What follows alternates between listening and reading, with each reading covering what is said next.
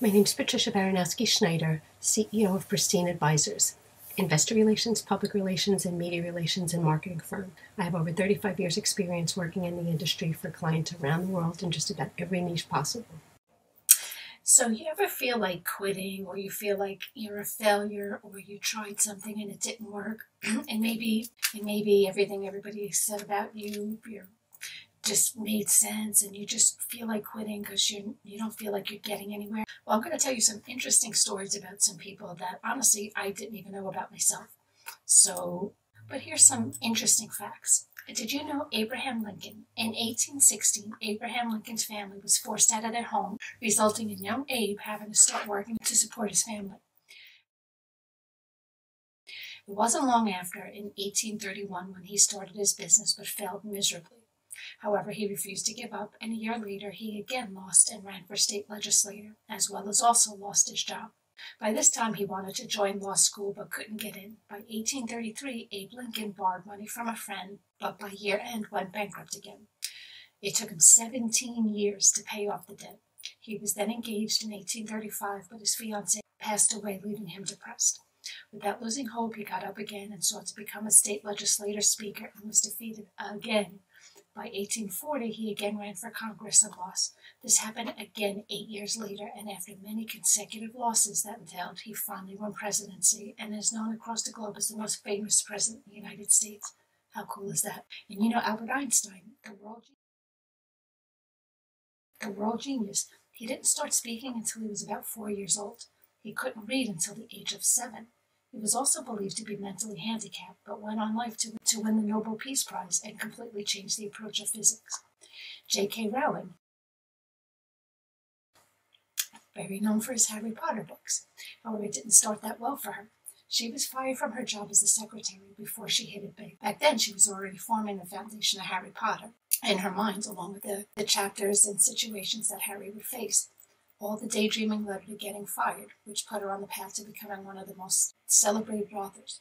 She began writing ferociously, but later that year her mom died of health complications. In 1992, she moved to Portugal to teach English. She met a man, got married, had a daughter. However, she was divorced a year later, and by this time was on chapter three of her book, feeling like an absolute failure. By this time, she was jobless, divorced, penniless, and had a dependent child. She suffered from depression and eventually signed up for government assisted welfare. She pushed through it, and yet she was rejected by publishers. A small publishing house accepted it later, and an advance of $1,500 was sent, sent to her. The book began with only about a thousand copies, and by 1997 and 1998, it won the Nestlé Smarties Book Prize and the British Book Award for Children's Book of the Year. That marked the start of her victories, and today she sold, she sold more than 400 million copies of her book. She's considered to be one of the most successful authors in the world. Did you know Henry Ford? Henry Ford had failed two times and went bankrupt prior to his success. He was poor with nothing more than an elementary school education. In 1899, he formed his first company at 36, which soon went bankrupt. He then formed the Ford Company, which then turned into Cadillac. After that, he revolutionized the automobile industry by pioneering not only the, the Model T as well as the assembly line, but also the concept and notion of an automobile in every home. Driving became the norm in the United States, and subsequently Ford's Model T went on to sell over 17 million units.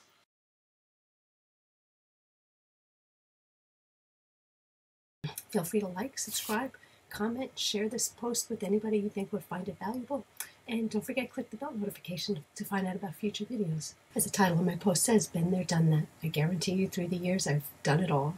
Through my decades of working in the industry, I've learned a lot. I've learned from many mistakes, and I can help you put you in front of the, in front of the audience that matters most to you. Contact me at 631-756-2486. You can also email me at pbaronowski at Pristine Advisers. That's